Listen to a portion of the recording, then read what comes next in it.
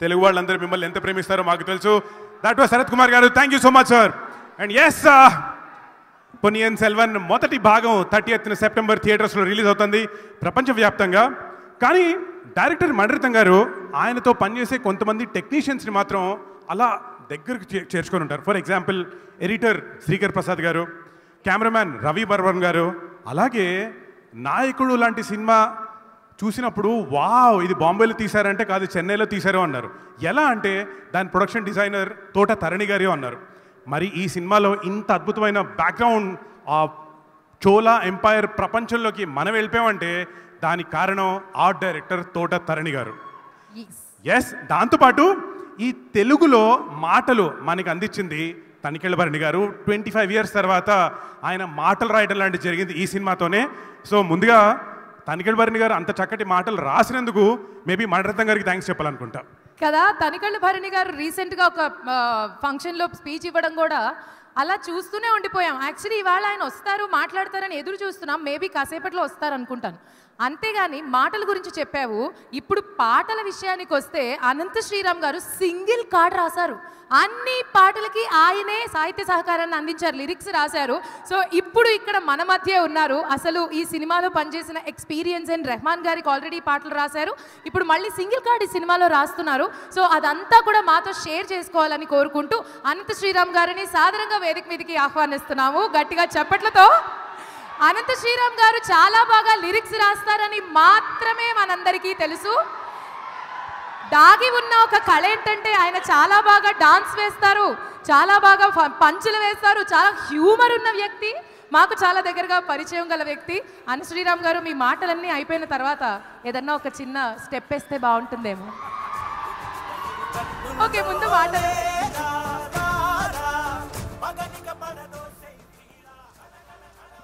భూమి మీద జరిగిన చందమామ కథ లాంటి చరిత్రని కళ్ళారా చూడడానికి సిద్ధంగా ఉన్న తెలుగు వీరులందరికీ మనస్ఫూర్తిగా నమస్కరిస్తున్నాను పొన్నియన్ సెల్వన్ అంటే తెలుగులో అర్థం కావేరి పుత్రుడు అని. నేను గోదావరి పుత్రుణ్ణి గోదావరి పుత్రుణ్ణి ఉండి కావేరి పుత్రుడి కథలో వచ్చే పాటలు రాయడం నా పూర్వజన్మ సుకృతంగా భావిస్తున్నాను. ఈ పాటలు విడుదలయ్యాక చాలా పాటలకి వచ్చిన స్పందన అన్ని భాషల కంటే తెలుగులో వినడానికి చాలా బాగుందని ఎక్కువ మంది స్పందించడం జరిగింది.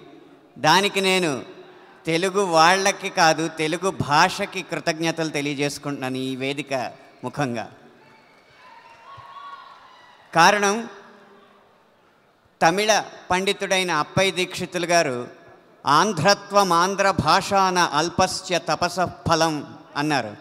తెలుగువాడిగా పుట్టడం తెలుగు మాట్లాడడం తెలుగు నేర్చుకోవడం తెలుగు వినడం ఒక్క జన్మలో చేసుకున్న పుణ్యం కాదు. ఇది జన్మ జన్మల పుణ్యం కాబట్టే వాళ్ళు తెలుగు వాళ్ళుగా పుట్టారు అన్నారు.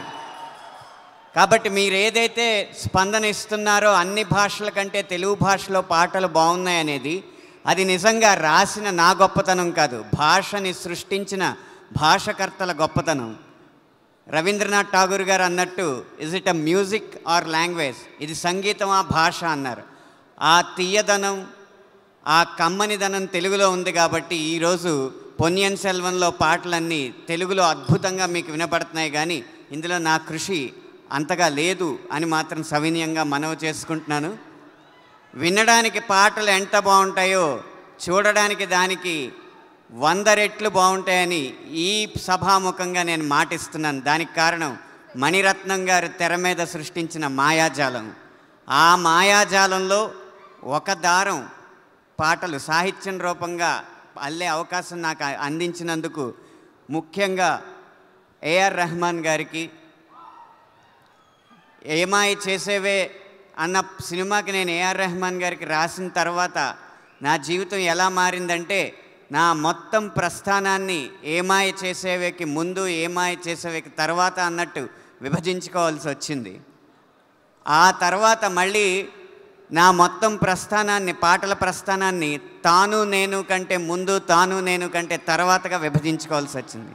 ఇప్పుడు మళ్ళీ దాన్ని ఆ రాజ్యాంగాన్ని సవరించి పొన్యన్ సెల్వన్ కంటే ముందు పొన్యన్ సెల్వన్ తర్వాతగా ఈ జీవితాన్ని విభజించుకోవాల్సి వస్తుంది. ఎప్పటికప్పుడు నా జీవితంలో ఒక అద్భుతాన్ని అలా సృష్టించి మళ్ళీ ఆయన పక్కకు వెళ్ళిపోతూ ఉంటారు ఏఆర్ రెహమాన్ గారు. ఈ వేదిక ముఖంగా నా జీవితాంతం ఆయనకి రుణపడి ఉంటానని సవినయంగా మనం చేసుకుంటున్నా. ఇంత మంచి అవకాశం ఇంత మంచి సినిమా గురించి మీరు తెలుసుకోవడానికి గొప్ప గొప్ప వ్యక్తులందరూ ఎదురు చూస్తున్నారు. వారిని అందరినీ ఆసక్తిగా తిలకిస్తారని ఆశిస్తూ పొన్యన్ సెల్వన్ చారిత్రాత్మకమైన సినిమాయే కాదు చరిత్ర తిరగరాసే సినిమా అని విన్నవిస్తూ సెలవు తీసుకుంటున్నాను